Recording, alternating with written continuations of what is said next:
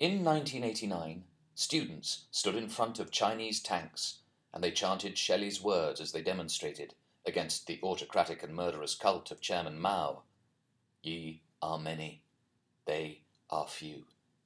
And in 2011, as anti capitalist risings worldwide denounced the idols of Mammon, crowds again quoted from Shelley's Mask of Anarchy in both their banners and their meetings. Rise like lions from your slumber. Ye are many, they are few. Showing that despite Oxford's attempts to silence it, that godless anarchist voice is still heard.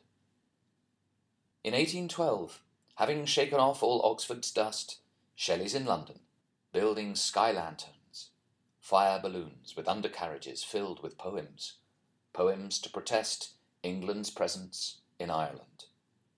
The King had given his son a party at Carlton House, the Prince Regent's Ball, which boasted follies such as fake streams encased in silver banks two hundred feet long, the length of a banqueting table, and filled with goldfish costing a hundred and twenty thousand pounds, or the equivalent of two million pounds.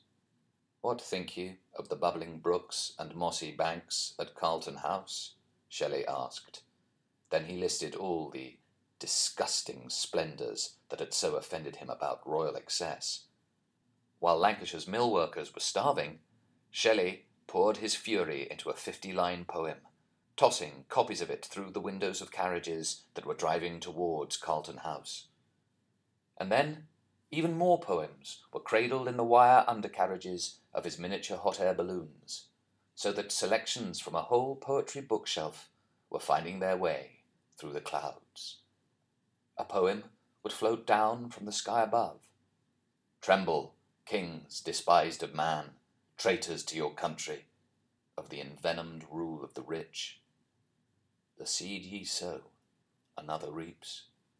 The wealth ye find, another keeps. Sow seed, but let no tyrant reap. Find wealth, let no impostor heap. These lanterns, laden with knowledge, as Shelley described them, would fly a thousand feet in the air, then, burning out, the poems tumbled down, scattering across England to change it. To change a colonial system where many faint with toil, that few may know the cares and woes of sloth. Tennyson said Shelley gave the world another heart and new pulses, and Clough that he made wings for others to fly on. Karl Marx's daughter, Eleanor, remembered her father saying, The real difference between Byron and Shelley is this those who understand them and love them rejoice that Byron died at 36, because if he had lived, he would have become a reactionary bourgeois. They grieved that Shelley died at 29, because he was essentially a revolutionist, and he would always have been one of the advanced guard of socialism.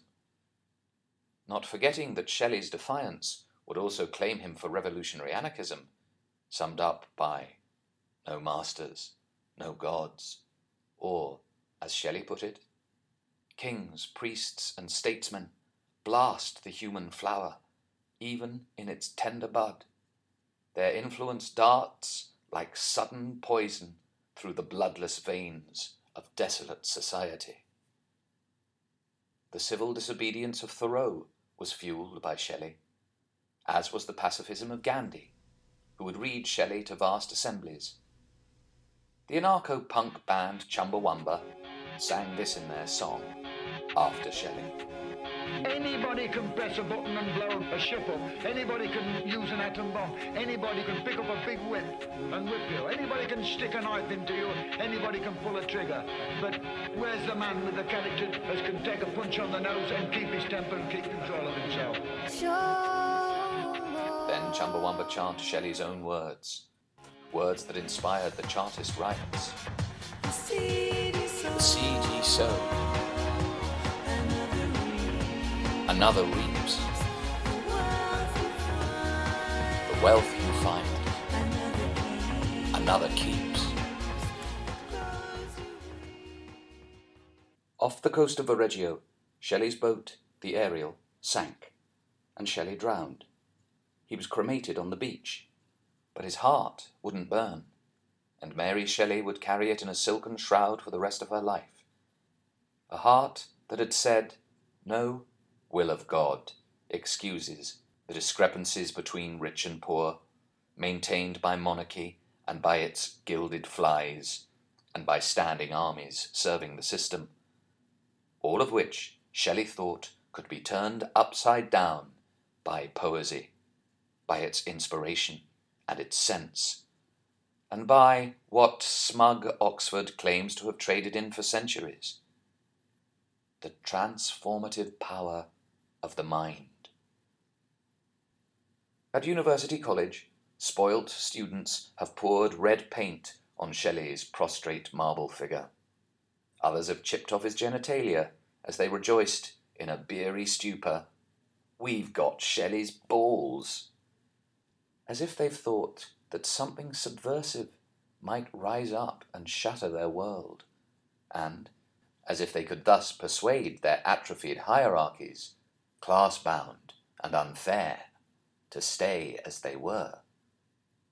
Deaf to a voice imploring the wind to scatter his words like sparks on an unawakened earth, and to touch the world with living flame, and to trumpet a prophecy that would serve to quicken a new birth.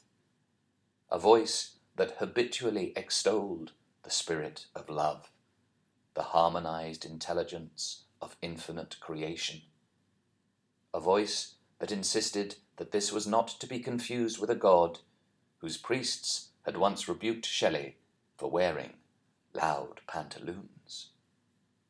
He died, Shelley's wife wrote, and the world showed no outward sign. But the world's indifference was no accident. The middle classes sensed an enemy of all that they stood for, one who hated injustice with a passion that never left him. Just like Ariel in Shakespeare's Tempest, an elemental minister of fate who did all of his spriting gently, Shelley showed England's island what it was.